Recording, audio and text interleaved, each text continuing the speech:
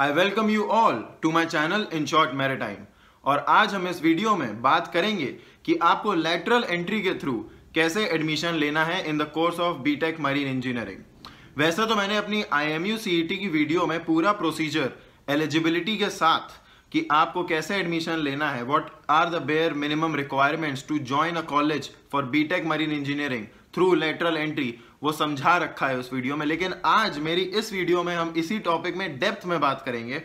इसके साथ मेरा एक बैचमेट कैडेट प्रणित पास थे जिसने खुद मेरे कॉलेज में एडमिशन लिया है लेटरल एंट्री के थ्रू उसने फ़र्स्ट ईयर मेरे कॉलेज से नहीं किया था। उसने लेटरल एंट्री के थ्रू एडमिशन लिया था डायरेक्टली सेकेंड ईयर में।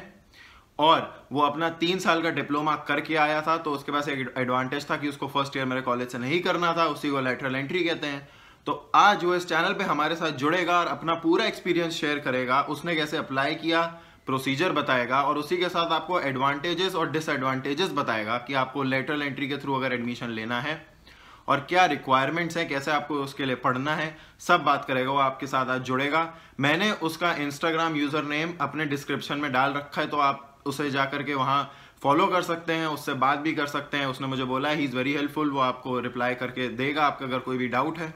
तो आइए चलिए सुनते हैं कि प्रणित पास्ते को लेटरल एंट्री के एडमिशन के बारे में क्या कहना है।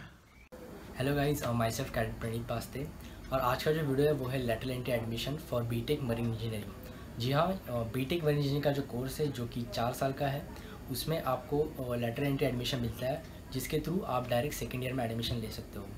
तो इसकी जो बेसिक रिक्वायरमेंट है, वो है आपका डिप्लोमा होल्डर होना तो जो डिप्लोमा जो है, ये तीन साल का होगा, वो आपको आइधर मैकेनिकल इंजीनियरिंग में लेना है या फिर मरीन इंजीनियरिंग में लेना है।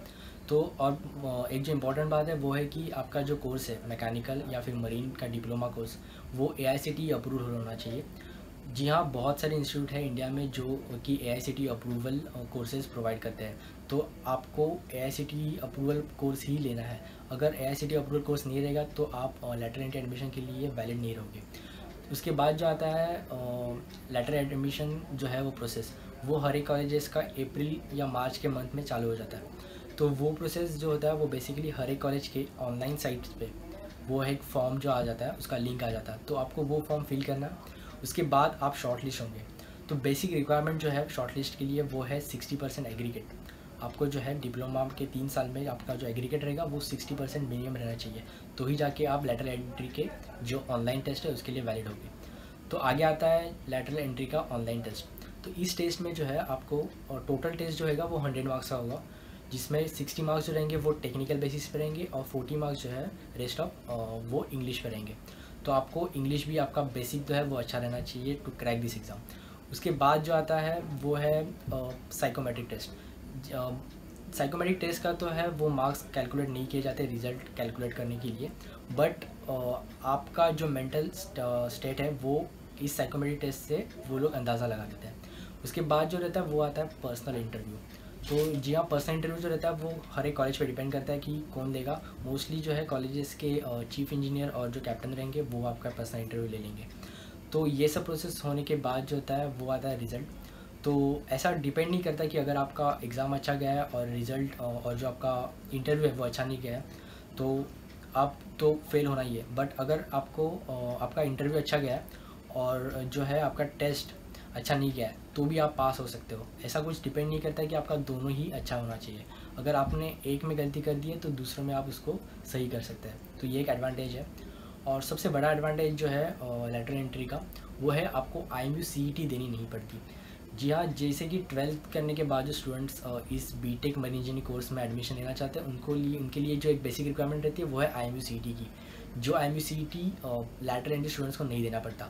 लेटर एंट्री स्टूडेंट्स को सिर्फ़ एक एग्ज़ाम देना पड़ता है, वो है कॉलेज का कॉमन एंट्रेंस एग्ज़ाम जैसे कि मैं टोलानी मेटाइम इंस्टीट्यूट में पढ़ता हूँ तो मुझे एडमिशन लेने के लिए टी एम एस सेट ये एग्ज़ाम देनी पड़ी थी, जिसका फॉर्मेट सेम जैसे मैंने बताया वैसे था। तो मोस्ट ऑफ़ द कॉलेज का फॉर्मेट जो है वो सेम ही रहेगा सिक्सटी हंड्रेड मार्क्स का एग्ज़ाम रहेगा सिक्सटी आपका टेक्निकल और फोर्टी जो है वो आपका इंग्लिश पे। और उसके बाद जैसे कहा मैंने, बहुत इंपॉर्टेंट है, वो है इंटरव्यू तो ये एक ये जो है बहुत सारी चीज़ें हो गई। तो उसके बाद जो आगे जो आता है, वो है कोपअप करना स्टडीज़ के साथ। एक बार आप कॉलेज में एडमिशन ले लोगे तो आपको कोपअप करना होता है स्टडीज़ के साथ, जो कि फ़र्स्ट ईयर स्टूडेंट्स पहले से करते हैं। उनके सब्जेक्ट जो रहते हैं शिपिंग रिलेटेड वो काफ़ी अच्छे रहते हैं।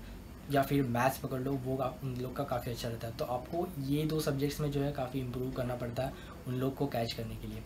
तो ये सब तो चीज़ें हो गई। एक जो है, आपके पास एडवांटेज रहता है अगर आप डिप्लोमा करके जा रहे हो तो आपके पास प्रैक्टिकल नॉलेज काफ़ी ज़्यादा रहता है as compare to the other students क्योंकि आपने जो तीन साल आप डिप्लोमा कोर्स करोगे तो वो तीनों साल का जो डिप्लोमा कोर्सेस है, उसमें काफ़ी प्रैक्टिकल नॉलेज इंक्लूड रहता है। और most of the diploma study ये प्रैक्टिकली बेस्ड रहती है। तो आपको ये काफ़ी एडवांटेजेस रहता है। जब आप शिप पे काम करोगे तो प्रैक्टिकल वर्क जो है आपका प्रैक्टिकल जो ग्रीप रहना चाहिए, वो काफ़ी अच्छा होता है डिप्लोमा स्टूडेंट्स का। तो ऐसी बहुत सारी कंपनीज़ हैं जो प्रेफरेंस देगी कि डिप्लोमा और प्लस डिग्री स्टूडेंट्स के लिए, क्योंकि उनको प्रैक्टिकल नॉलेज पे काफ़ी इंपॉर्टेंस देना होता है। तो ये सब चीज़ें हो गई एडवांटेजेस आ गए।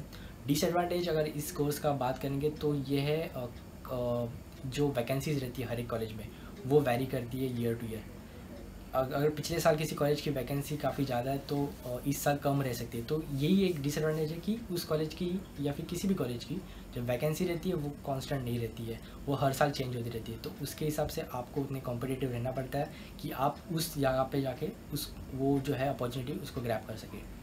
तो ये था मेरा वीडियो आपके लिए। आई होप आपको ये ज़रूर हेल्प करेगा। And wish you good luck thank you so much I would like to thank Pranit for joining this channel and sharing his experience with us all. I hope कि आपको इस video से कुछ help मिली हो।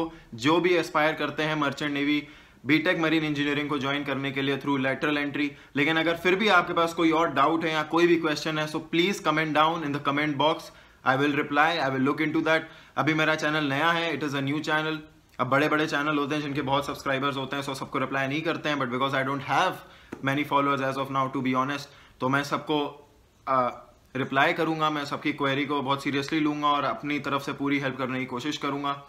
So with this मैं आगे नए videos निकालने वाला हूँ related to NDA the differences between NDA and merchant navy और मतलब ऐसे लोग जिन्होंने एस एस बी भी अटेंड करा हुआ है, लेकिन वो फिर भी मेरे कॉलेज में सबको I will bring them to my channel all I need कि आप मुझे फॉलो करें, आप मेरी वीडियोस को लाइक करें सब्सक्राइब भी करें अगर आप कर सकते हैं तो क्योंकि मुझे लगेगा कि कोई मेरी वीडियोस देख रहा है so it would work like an encouragement तो with this thank you all for watching my video I hope कि इससे आपको मदद मिली हो।